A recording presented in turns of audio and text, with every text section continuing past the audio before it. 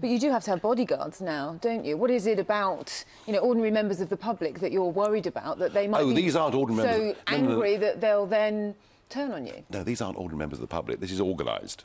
You know, these are funded organisations, predominantly backed by the trade unions, who actually want to stop me speaking, which, if you think about it, isn't very democratic.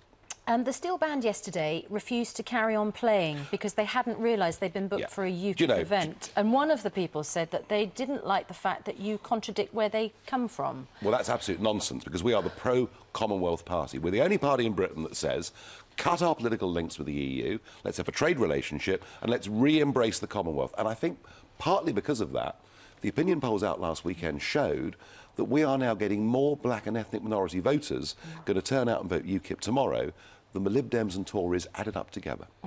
Um, so you're welcoming black and um, uh, ethnic minority uh, supporters, but what have you got against Romanians? Nothing, but I've got a problem with Romania.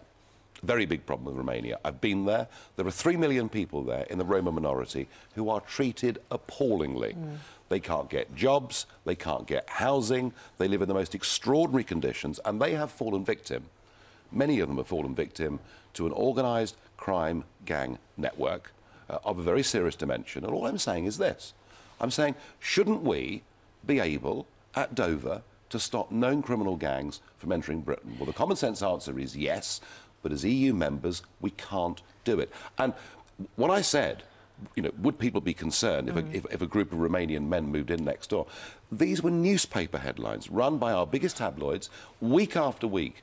That's what stirred up the hysteria, not me. But you did say that, though. You did say I didn't say you'd they be should- worried about I living didn't say- next door to didn't say- Romanians. You wouldn't say- mind Germans, but if they were Romanians, I didn't say I would be worried, and I didn't say people should be worried. I said people would be worried because they read all this stuff in the newspapers and they've seen the crime statistics. Frankly, if we stopped criminal gangs coming in from Romania and other parts of the world, people wouldn't be concerned. Yeah, but you got in a muddle about the statistics, didn't you? Because in the advert that you took out, you said Romanians are responsible for 7% of crime across Europe.